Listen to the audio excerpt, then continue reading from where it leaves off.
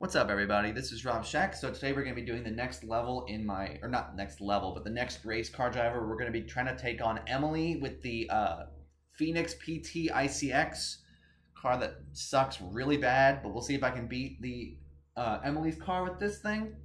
Um, it should be a doozy, but help me get to a thousand subs. Y'all are awesome. Thank you so much for the support. It's we've been growing a lot recently, so thank you, thank you, thank you a lot for that. Um, yeah, I'm gonna try to take on Emily. I don't remember what her last car's name is. I think it's like 370 DS or something like that. It's got like a very BMW name, but obviously it's not an actual BMW because licensing. But it's basically a BMW. Um, and I'm gonna be driving this muscle car that has absolutely no control and also doesn't know how to have gear settings. And you can't change the gear settings in this game. But wow, you know, let's get to. How about we be in? We should not be in fourth gear by 70 miles an hour. It should be like second gear. So that's it's pretty hilarious that they did that for the setting. Oh, and this car doesn't have NOS too, so we're really uh, gonna make it difficult for ourselves to win this race. But I think we can do it. I mean, I'm gonna try my best, but basically I can't get below fourth gear. I have to always stay in fourth gear because the second the car goes in the third gear, it starts sliding around from the back of the car, starts sliding out, and it's really really hard to control it. And even when you tap the handbrake, it's really hard to control it because look at that. Like I'm just sliding around with, even though I was in fourth gear, I'm just sliding back and forth like an idiot. So we'll see if I can actually do this. It's going to be a challenge for sure. Um, but I think we can maybe make it happen. I mean, I want to be able to say that I successfully used every car in this game to accomplish something. And I'm like, I think I saved the hardest for last here, or for the middle of the game here, because I'm going to be using a car that is very under prepared to take on a BMW type car. So we'll be we'll see. I'm gonna try to keep catch up to her, but I mean this car is completely completely out of control. It's kind of terrible. Um, but once I catch up to her and get the thing where I challenge her to a race, I'm gonna try to uh, I'm gonna try to not lose the race. Um, it's the dream is to try to not do that. Uh, there she is, by the way. So yeah, it looks. It doesn't actually. That one doesn't look as much like a BMW as her first two cars, but it's still got a little bit of a hint of some. Uh, what the heck? What is he doing? What is she doing? Why do these drivers like to fake me out? That's hilarious. But I'm. She's. She's not. She doesn't seem like she's that aggressive in driving here. So we'll see if I can actually catch up to her again and do this thing. But yeah, this car is uh, this car's pretty awful. So I mean, look at how much it slides. I like literally cannot control this car to save my life. So I'm just gonna try to get it to fourth gear because it's the secret to this car is get it to fourth gear. And if you can't get it to fourth gear, then you're gonna slide around. And even in fourth gear, you're probably gonna still slide around because this car is really, really freaking bad. Um, also, it has very low durability. So like, you're gonna also you're gonna hit a bunch of crap and then also not be able to control the car. So you know, it's just the it really is the perfect storm of kind of a garbage car here. So I'm gonna try to beat her with this. I'll complain about it.